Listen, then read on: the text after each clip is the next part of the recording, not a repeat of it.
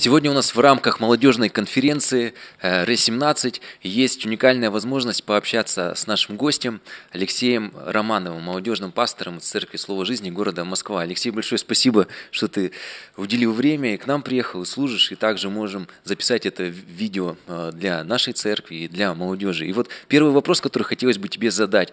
Вот э, все знают, что ты являешься пастором молодежным пастором в Москве в Слово жизни. Но вот, например, уже а, подростки, ранняя молодежь э, не знает, что ты, оказывается, не коренной москвич. Вот мог бы ты сказать, как вообще ты стал молодежным пастором в столице нашей э, страны и вообще откуда ты, как вообще это произошло? Коренным москвичом, наверное, я не знаю, что нужно, чтобы произошло, чтобы стать, но почти 14 лет мы живем в Москве вместе с семьей. Я родился сам в Копейске, э, это недалеко от Челябинска, и в 2003 году... То есть году... с Урала, получается. Да, я уральский. Только я из такой, как чугунной Флоренции России, да, а Екатеринбург это такая ну, культурная столица Урала, да. А, и мы в 2003 году переехали с семьей в Москву, просто по зову сердца, по какому-то откровению. Никто нас не приглашал, не звал, и мы решили служить в Церкви Слова Жизни Москва. И через какое-то время стали служить полное время, и теперь вот на протяжении, получается, уже 14 лет молодежный пастор в Москве и 5 еще в Челябинске. А скажи, пожалуйста, вот, то есть ты уже э, молодежный пастор, а вот э, в своей вот в первой поместной церкви, вот э, какое вот твое было первое служение, и как ты вообще решил начать служить? Я вообще люблю об этом рассказывать. Э, я пришел в воскресенье, я когда покаялся, и думаю, я хочу служить Богу. Ну, больше я понимал, что назад мне вернуться нельзя, и надо должен делать что-то впереди. И тогда первое мое служение было, я отвечал за ведра для пожертвований и для стакан для кафедры. И мне нужно было их, э, мы тогда купили наше здание, оно было такое маленькое, это бывшая наркология. Мне нужно было оттуда, э, в ДК, где проходило собрание, это все дело перевести. И потом после собрания это нужно было отвезти обратно. Вот такое было служение мне. Понятно.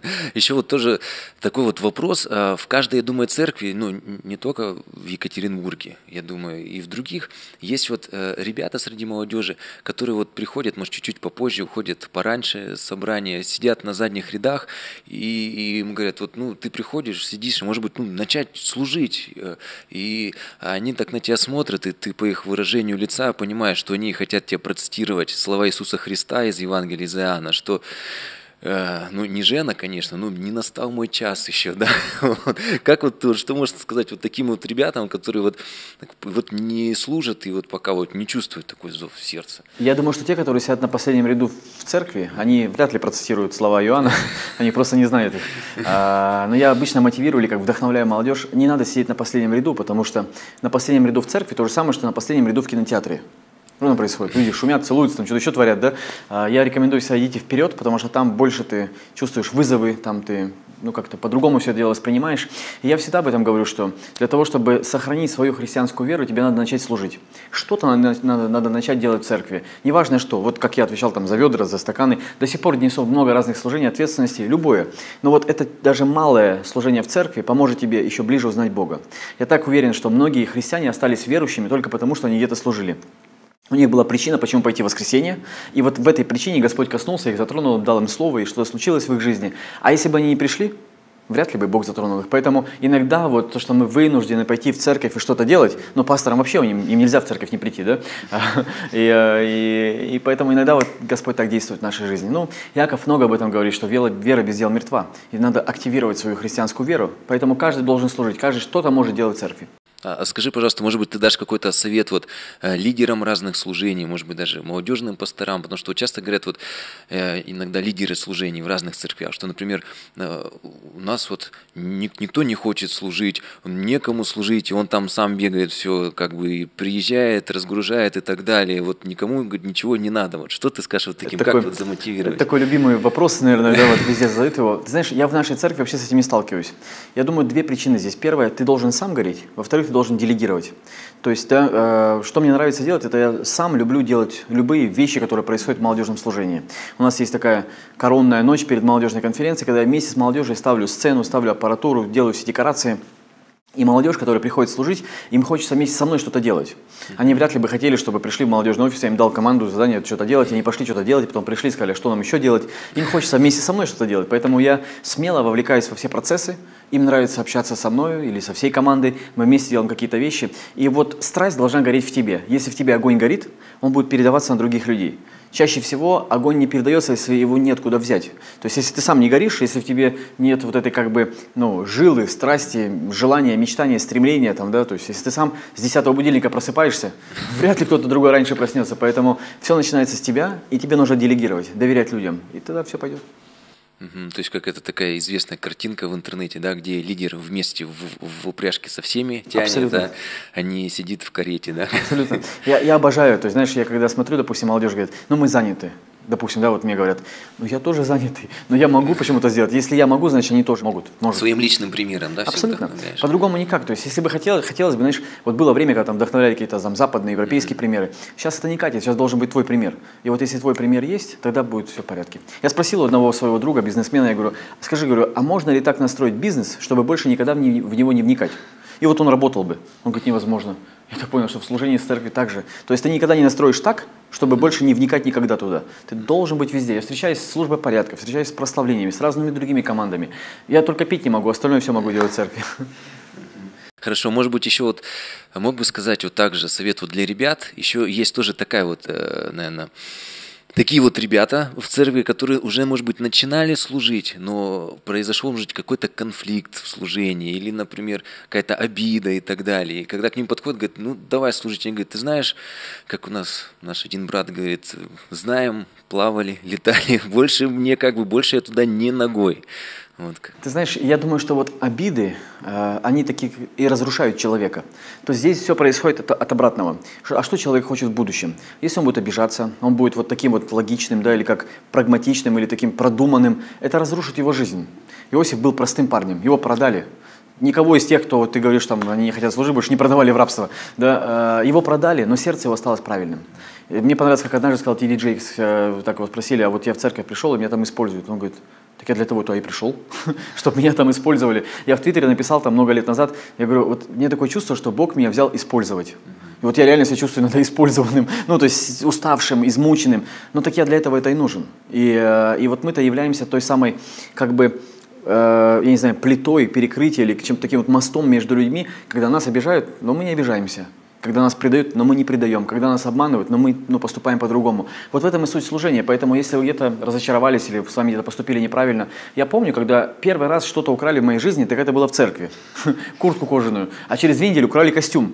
Я думаю, никогда в жизни нигде ничего не крали, а потом в церкви украли. И э, никогда не обижайся. Если происходило что-то даже неправильно, или ты видел что-то неправильное в жизни там, служителей, бывают такие моменты, Пускай никак не разочарует тебя это. Смотри на Господа, служи Ему, и Он обязательно поднимет тебя. То есть жить по принципу матери Терезы, да, которую она прописала. Да. Да, ну и сразу же отсюда вытекает следующий вопрос. Вы знаете, вот когда начинает молодежь вот служить в церкви, то как бы есть такая тенденция, что тот, кто начинает служить, он обычно активно служит, а тот, кто тебя обычно либо не служит, либо так как говорят, шатковалка.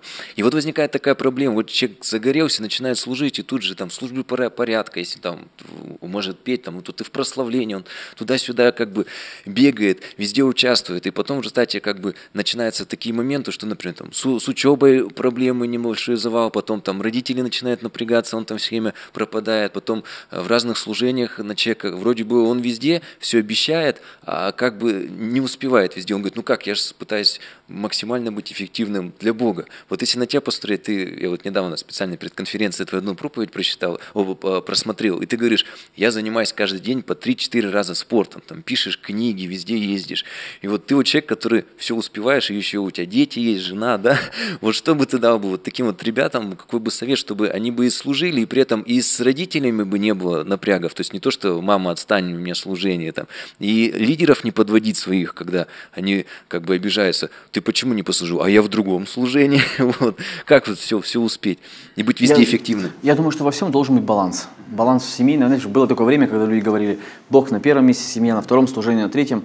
Я вот это никогда не понимал, думаю, как это все сделать? Ну, то есть, Бог везде на первом месте, ну, то есть, нельзя сказать, что он тут на первом месте, тут на втором. Я думаю, что должен быть баланс во всем, здравость должна быть. То есть, я не могу жертвовать семьей ради служения. Допустим, у меня был вот такой прямой пример, а, сегодня у нас еще суббота, а, в среду я шел домой вечером, в 10 часов вечера ко мне позвонил один парень и сказал, нам надо с тобой встретиться, поговорить. Я говорю, я не могу. Я в 6 утра, у меня была первая встреча, сейчас 10 часов вечера. Я иду к семье и к детям. Чувак, подожди, мы с тобой потом поговорим, ну или давай по телефону обсудим, или скажи, что нужно сделать. Но я не буду сейчас с тобой встречаться, потому что меня ждут мои дети. И вот очень важно нам, чтобы не, как, не ударяться в одну сторону, в крайность, и с другой. Нужда всегда большая. Мы должны увидеть, что мы всему миру, наверное, не сможем помочь. Да, вот ну, в плане, да, вот если честно взять, посмотреть на эти вещи. Но я понимаю, что я не могу пожертвовать своей семьей. Я не могу пожертвовать, если я только а, занимаюсь спортом, если только занимаюсь семьей, занимаюсь служением, но при этом не молюсь, не читаю, не размышляю над Библией, какой смысл во всем этом деле. Поэтому я должен найти баланс в своей жизни. Четыре раза в неделю спортом занимаюсь, стараюсь один вечер обязательно... Четыре раза в неделю? Да, просто это... не в день, да, ты сказал. Потому что я услышал, может быть, или я неправильно услышал. Три-четыре раза в неделю. Да. А, один вечер мы стараемся с женой вместе где-то быть в кафе или в ресторане. Один день у нас понедельник есть на отдых, когда мы вместе ничего не делаем. Я, у меня даже на телефон имейлы не приходят, я поставил все, ну, отключил все уведомления. Два-три вечера мы находимся с детьми. Если я вечером не был дома, детей не уложил спать, тогда я утром их подниму, сварю им кашу, сам позабочусь о них. Ну, то есть я нашел баланс во всем этом, как все правильно устроить. И вот в этом балансе всегда легче жить. То есть я устаю очень много, но бывает так, что я понимаю, что сегодня, допустим, трудный день, да, я только пролетел, сейчас много всего. Завтра трудный день, утром проповеду здесь в церкви, вечером проповеду в Москве. Но я знаю, что понедельник будет выходной. И мне легко тогда. Никто не напрягается, все знают, что понедельник у нас будет выходной, и все. И поэтому то есть я стараюсь себя балансировать какие-то вещи. И у нас с женой так мы договорились, что есть времена, когда, ну, прям много работы, там месяц-два, бывают такие в году по несколько штук, и тогда мы понимаем, ну, сейчас такое время, надо просто пройти его. Мне нравится, как пастор Мацула говорит так, когда приходит жатва, тогда уже никто не спит. Вот тогда начинается работа, тогда все вместе. И поэтому у нас есть время отпусков, есть время, когда мы отдыхаем, есть время, когда мы вместе, есть время, когда мы с детьми. И все. Если ты все правильно распланировал, если у тебя есть характер для того, чтобы соблюдать разные вещи, а не просто... Потому что много же людей, они попадают в канавы, когда они ничего не делают, но вроде бы занятые. Поэтому надо правильно, грамотно использовать время и все. Ну, тогда, может быть, э, продолжение этого, э, твоего ответа, и, наверное, уже последний вопрос. Вот сейчас у нас идет молодежная конференция, и приезжает много ребят. Я вот заметил такую тенденцию, уже вот восьмая конференция у нас, да, организовываем, что часто приезжают ребята с таким, э, с духовным голодом, с, ожиданием, приезжают, загораются, после этого какое-то время проходит, ну, у каждого свой фитилек, кто-то там пару недель, кто-то пару месяцев. Я не про всех, но просто вот для таких вот ребят. И потом начинает везде служить, приезжает во все служения запишутся, начинает из церкви первые две недели, вообще их никто нигде не видит, только в церкви ночуют, живут, и потом опять пропадают до следующей конференции. Вот, может быть, и ты поделишься, как вот ты на протяжении стольких лет горишь и не сгораешь, вот как ребятам, которые вроде придут, а, ободрятся, вдохновятся, и потом опять вот как такой духовный запой, и потом опять их нигде нет. Вот. Наша жизнь не должна строиться на эмоциях. Эмоции, они хорошо. То есть ты вот загорелся, пережил что-то, пошел куда-то, что-то начал делать. Но если ты дрова в костер подбрасывать не будешь, он рано или поздно потухнет. И вот мы должны понимать, что наше духовное состояние или наше служение, это не просто эмоционально. Почувствовал, почитал Библию, не почувствовал, не почитал, зачувствовал, послужил. Если мы таким вот формате двигаемся, то ничего не получится. Мы должны понимать, что каждый день идет борьба. И мы должны, ну не просто вот, ну это же из школы, я помню, приходил тренер по боксу и говорил, пойдемте в боксе. И мы все шли в бокс, две недели занимались боксом и все. Потом пойдемте в велосекцию. Мы две... То есть это же не только вот с конференции, это в принципе жизнь человека. Эмоции угасают да, или как, э, как жажда какая-то проходит. Это везде так происходит. Поэтому для нас необходимо ставить себе цели, бросать себе вызовы день за днем. Не важно, что мы чувствуем, важно делать правильные вещи. Я люблю делать какие-то вещи, договариваясь с кем-то. Допустим, мы пообещали кому-то что-то где-то вместе сделать, и тогда я точно это сделаю. Я чаще, часто прошу людей, чтобы их обещания не были только перед Богом. Потому что Бог не настолько реален для человека, как человек, который находится рядом с ним. Если бы человек исполнил все обещания, которые дал бы Богу, Представляешь, что случилось бы уже. Но ты Богу даешь обещание, и Он же себя не спрашивает потом. Ты не сидишь на собрании, и такой Бог тебе приходит и говорит, а где? И ты раз такая рука с неба тебе хлоп по щечину, и думаешь, все, в следующий раз буду по-другому как-то себя вести. Но если я тебе пообещал, а как я это не сделаю? Ты же меня спросишь. И получается, как-то, ну, то есть становится такая ответственность за слова. Сейчас, особенно в этом э, поколении или в этом возрасте, времени, люди перестали отвечать за свои слова или как перестали нести ответственность за свои слова. Поэтому необходимо какие-то вещи бросать для себя, говорить с кем-то, о ком-то, спроси меня через месяц, через два, через три. Мы бросаем много вызовов друг другу. Кто что сделает, когда мы читаем Библию по плану, когда мы делаем а, общие посты или молитвы. И это как общая какая-то штука. Поэтому обольщаться в том, что через две недели после конференции, если ты не будешь подбрасывать дрова в огонь, он потухнет, точно потухнет. И каким бы ты сильным не был, он все равно потухнет, поэтому это со всеми случается, но необходимо для себя решить. Допустим, у меня есть несколько таких принципов. Когда я ложусь спать, я читаю Библию. Последнее, что я открываю в своем телефоне, это Слово Божье. Все. То есть после Библии я не открываю больше Инстаграм. это моя такая привычка. Я хочу так, хочу так жить, хочу так действовать. Не всегда так получается, но в 90 случаях так получается, в 90%. И вот здесь необходимо себе бросать какие-то вызовы, потому что с годами, ну, это же как, э, когда мы взрослее становимся, это неизбежно. Если ты не будешь работать своим характером, ничего не получится. Большое спасибо тебе за все эти ответы. Я думаю, это будет большим благословением для всех, кто смотрел.